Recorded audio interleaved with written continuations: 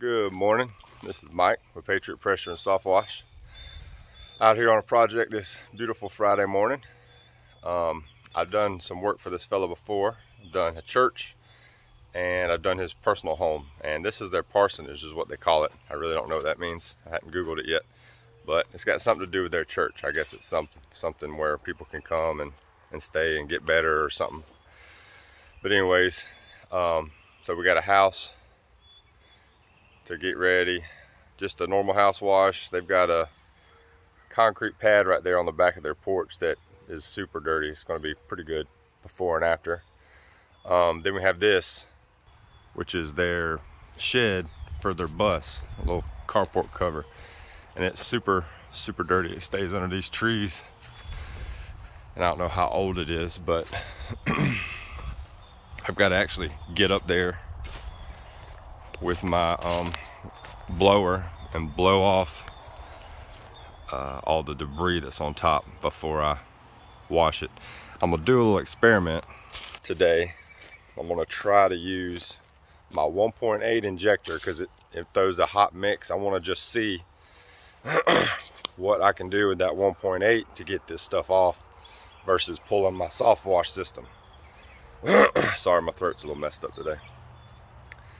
But we're gonna try to get after this house, get it taken care of, get the pad done on the back here, and then I'll do my little experiment with the 1.8 because I got the 2.1 in now. But this little pad area should come out really nice. These gutters look semi-new. They're dirty, but they look like they've been put on not long ago. And uh, I think that's actually how all this got this bad was water constantly falling on it. And in the shade, you see it's shady now, so. Which I don't mind working in the shade. So we'll get after it and get some video footage here shortly.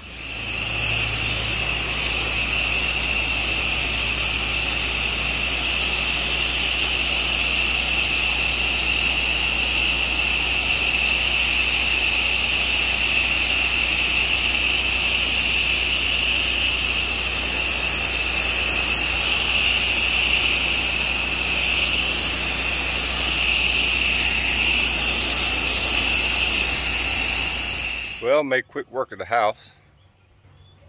Looks pretty good. You know, brick house is a little easier unless it's really, really bad on the bottom, which it wasn't horrible.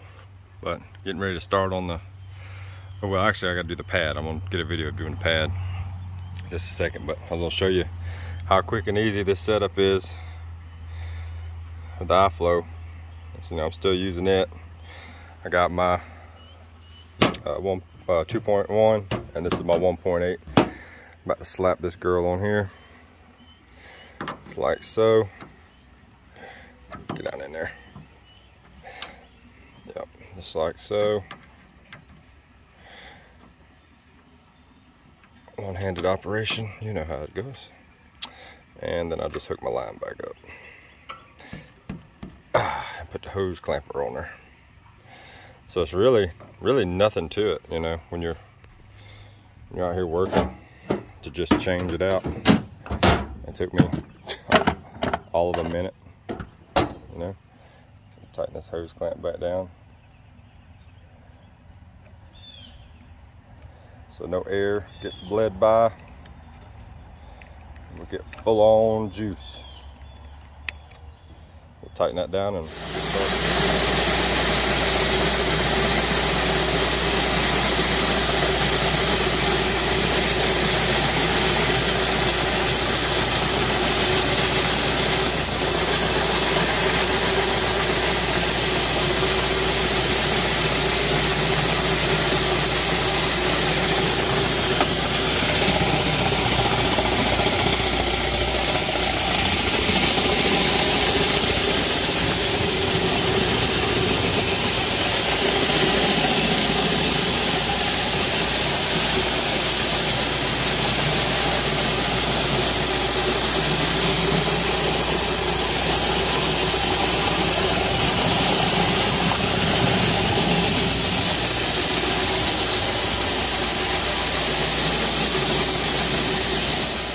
We're gonna give this a shot.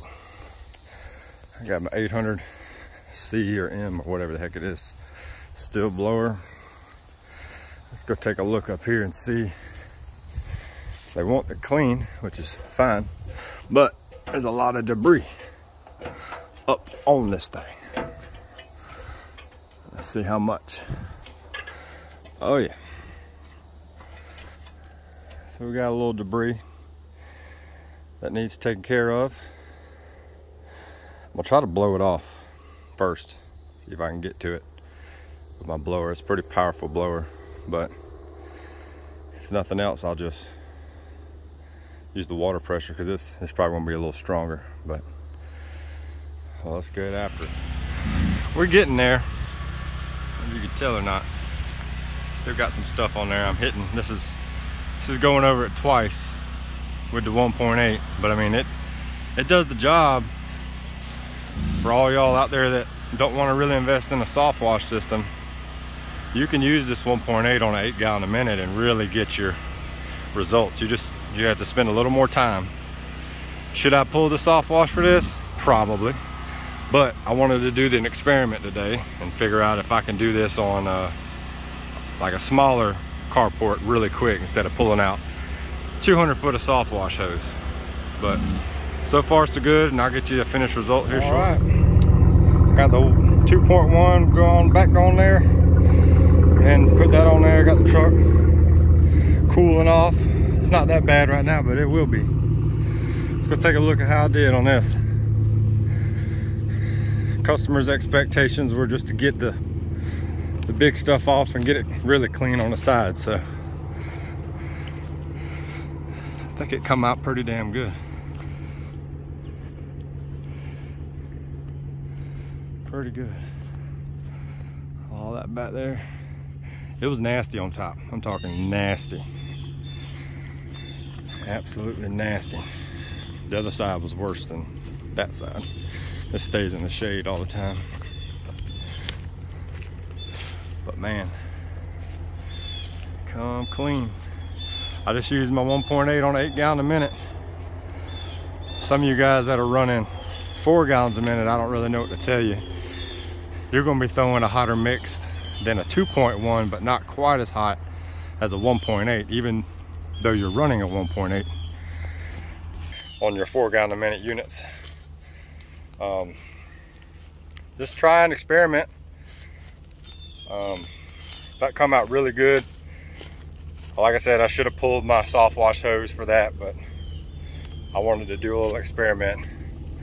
But if you don't want to invest in 200 foot of soft wash hose, piping it, the manifold,